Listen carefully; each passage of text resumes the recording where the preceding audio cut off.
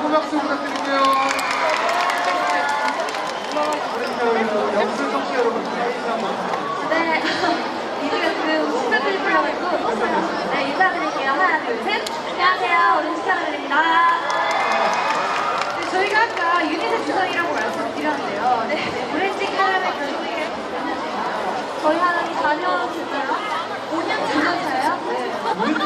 5년 차예요? 네. 10년 차에 됐어요. 10, 자, 오렌지 캐러멜은 정말 매번 독특한 컨셉으로 하는데요. 이 사진이나 의상도 굉장히 오늘은 쫀득이라고 써있거든요. 네, 네. 제가 너무 궁금했는데 이런 의상이 지금 정말 처음 보였어요.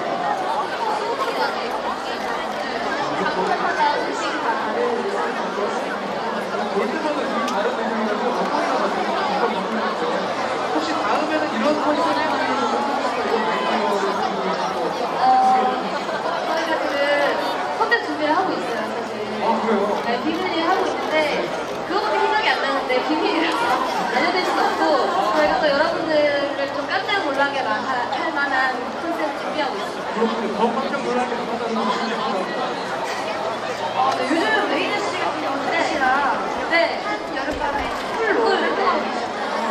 나나 씨랑 질투하지 않고 왜 너만 남자가 활동하냐?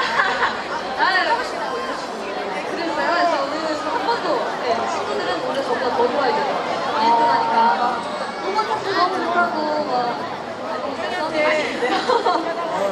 우리 멋있는 것이죠. 정말 부분이 콜라보게